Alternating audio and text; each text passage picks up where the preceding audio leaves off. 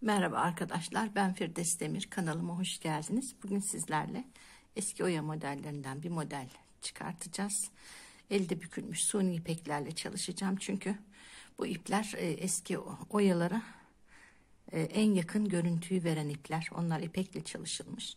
Bu elde bükülen suni ipeklerde onlara en yakın görüntüyü veren ipler. Bu yüzden ben bunlarla çalışıyorum. Sizler istediğiniz iplikle çalışabilirsiniz arkadaşlar.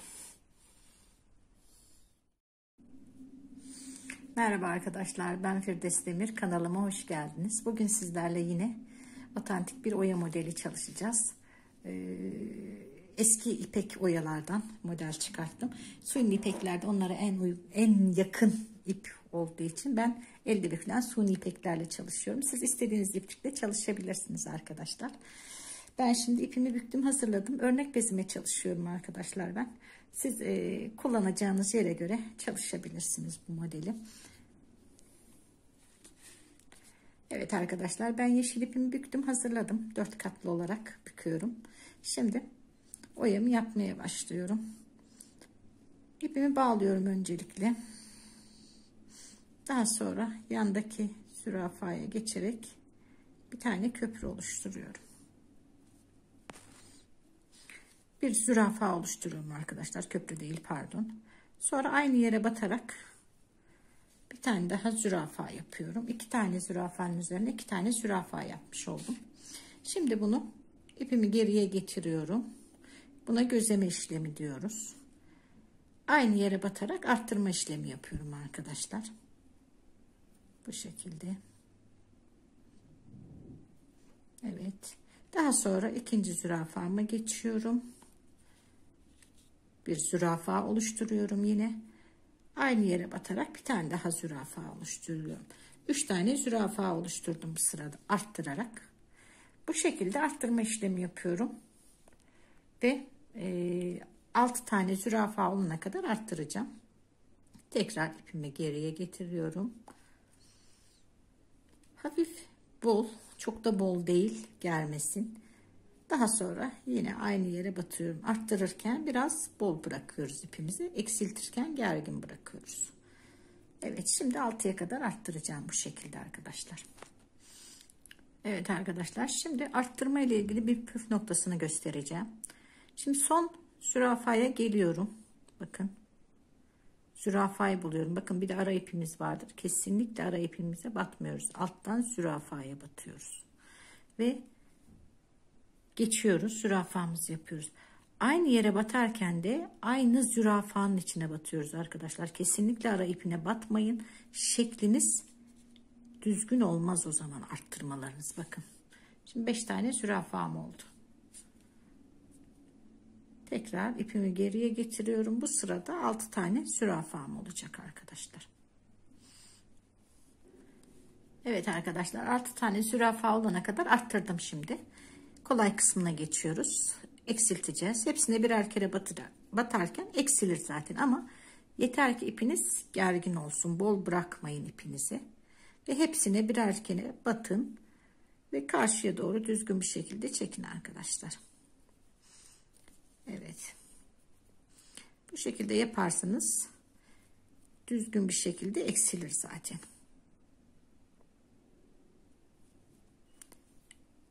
Evet bu sırada 5 tane zürafam kaldı. 4, 3, 2, 1 ve sıfırlayacağım. Evet arkadaşlar şimdi bir tane zürafam kalana kadar eksilttim. En son zürafama geliyorum. Çift sarıyorum. Ve karşıya çok çekerek sivrileştiriyorum yaprağımı ve kesiyorum arkadaşlar. Evet arkadaşlar bu şekilde yaprağımızı tamamlamıştık. Şimdi mor ipimizi, lila ipimizi aldım. Altılı arttırdığım sıra var. Onun sol tarafına ipimi bağlıyorum. Evet bu şekilde ipimi bağladım. Daha sonra aynı yere batarak yine bir tane zürafa oluşturuyorum. Yana doğru. Şimdi yine bu yaptığım yaprak gibi aynısından 6'ya kadar arttıracağım ve sıfıra kadar eksilteceğim. Aynısını çalışıyorum buraya. Lila rengiyle.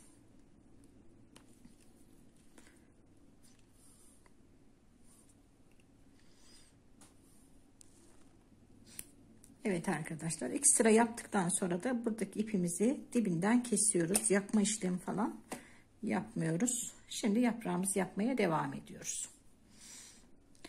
Evet arkadaşlar bu şekilde yaprağını tamamladım. Bakın biraz önce yukarıya doğru çekerek sivri yapmıştım. Fakat ben bu oya da şöyle hafif yan duruyordu oya. Ve ben bunu bu şekilde hafif yamultarak bu şekilde kıvrık bir yaprak oluşturuyorum. Şimdi burada da aynı işlemi yapacağım. Bakın şöyle yaparak yana doğru çekerek hafif kıvrık bir yaprak oluşturuyorum arkadaşlar. Yani çok dümdüz baklava değil de hafif yana dönmüş bir yaprak bakayım. Şimdi uca gelmişim. Hafif döndürüyorum. Bakın.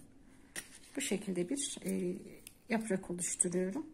Daha e, değişik bir görüntü oluşturmuş oluyorum arkadaşlar.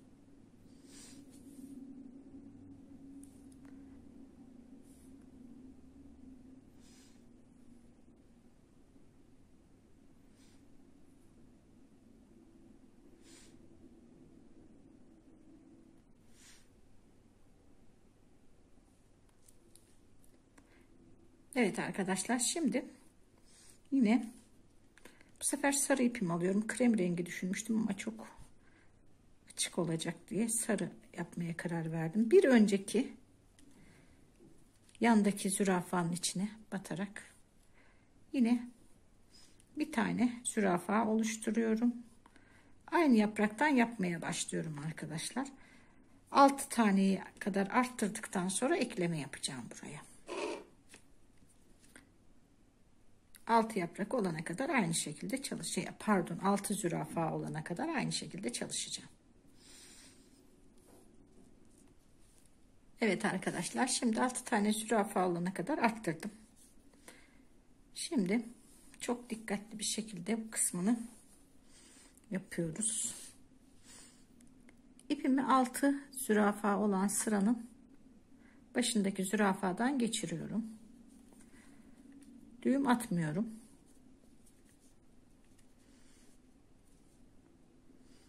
İpimi gergin bir şekilde geriye getiriyorum. Ve ilk baştaki zürafama batarak düğümümü yapıyorum. Ve hepsine birer kere batarak eksiltme işlemi yapıyorum. Yani 5 tane zürafam olacak bu sırada dikkatli bir şekilde arada germesin boşluk bırakmasın istiyoruz. Evet hepsine birer kere batarak başa kadar geliyoruz arkadaşlar. Bakın başladı ipimi tutuyorum alttan. Ve düğümümü yapıyorum. Bu şekilde 5 tane zürafamı yapıyorum ve eklemiş oluyorum buraya. Bakın düzgün bir şekilde. Şimdi yine hepsine birer kere batarak eksilteceğim ve yine başa geldiğimde yaprağımı hafif yamultacağım. Evet arkadaşlar şimdi bu yaprağımı da bitirdim. Bunu da hafif yamultarak yapıyorum. Tamamlıyorum.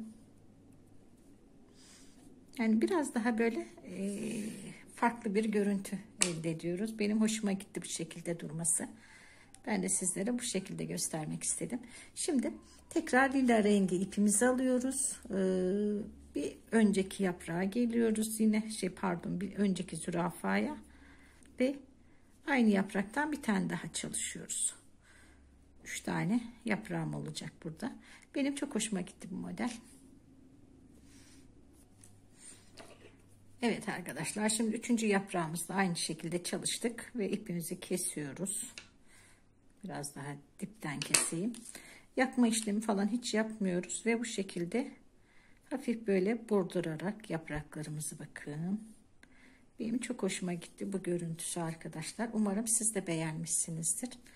Ee, güzel ve farklı bir oya modeli arkadaşlar. Hani hep tepede olan yapraklar yerine yan tarafa olan bir yaprak ya da çiçek oluşturmuş olduk arkadaşlar. Umarım beğenmişsinizdir. Severek yapar. İyi günlerde kullanırsınız arkadaşlar.